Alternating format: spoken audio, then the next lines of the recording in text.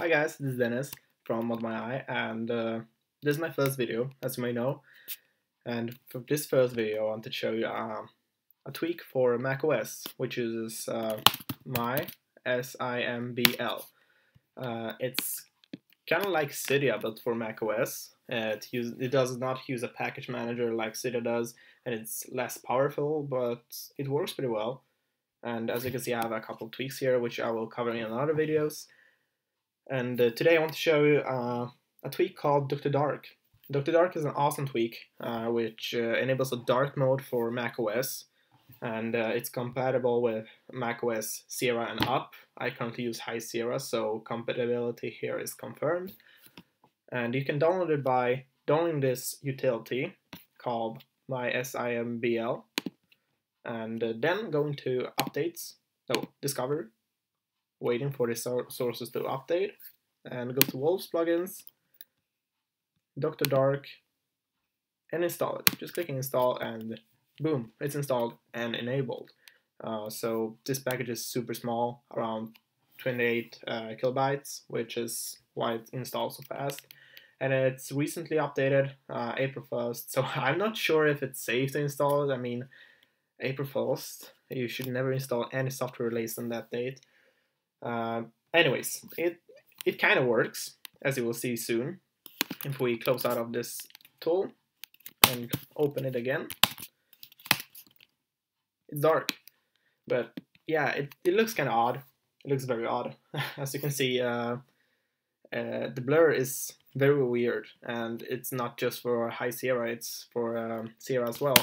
So, but to fix that, you go to System Preferences, which uh, at first look looks very good, with only the dark icons being a little off because they don't look good on dark background. Um, you have to go to accessibility, which does not look as good.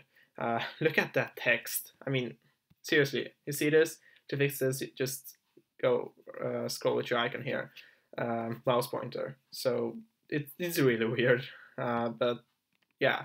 Then go to display and enable this which disables blur. Um, you cannot see what it actually is because because of this uh, weird bug which still keeps it light mode uh, in some settings set, settings pages. But this uh, this check mark is what you need to enable in order to have a better looking Dr. Dark tweak. Uh, this did not work here, I see. Maybe by restarting it. Um, let's try again yeah, now it works. It looks better. It still doesn't look as good because this utility uses uh, code injection.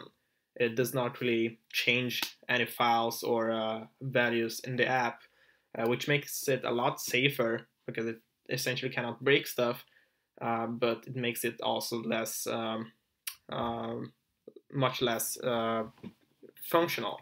Uh, it may contain bugs, as you can see, uh, but it won't break your system by installing it. So it's kind of a trade-off.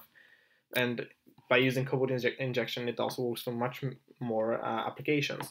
Uh, it works for most system applications, like system preferences, with some couple a couple bugs, and it works for Finder, uh, which we need to kill first in order to enable the tweak, as Finder is a system process which cannot be uh, quit just by clicking the red button or clicking Command Q.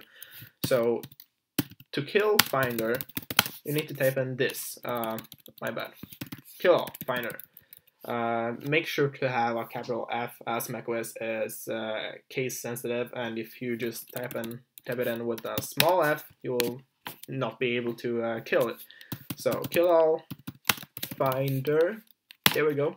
Now it's killed, and it reopened with a dark, sweet dark theme. Um, this is not a perfect solution, only for you dark mode freaks which need to have everything dark.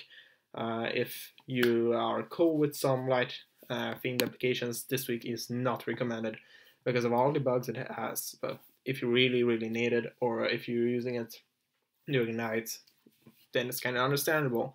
Uh, so how do you disable it if you only want it to be enabled during night or if you install it then regret yourself uh, just go to manage uh, in mySIMBL still can't remember that name uh, and click on this green icon here, which is disable and enable button. Oh, my text turned upside down. Anyways, uh, by clicking that, it's disabled. Now, if you quit this and open it again, there you see, it's a light beam again. Uh, you need to restart your application for this to work. You don't need to restart um, Mac OS, which is good. Um, some applications like Activity Monitor won't work without restarting the system, but it's so rarely used it shouldn't be an issue. So, um, as you may see, I have a couple of custom icons in my dock. If you're interested in those, the link will be down below in the description for most of them. Uh, other than that, I'm done. Any feedback is appreciated. Leave that in the comments. Thank you and see you in the next one.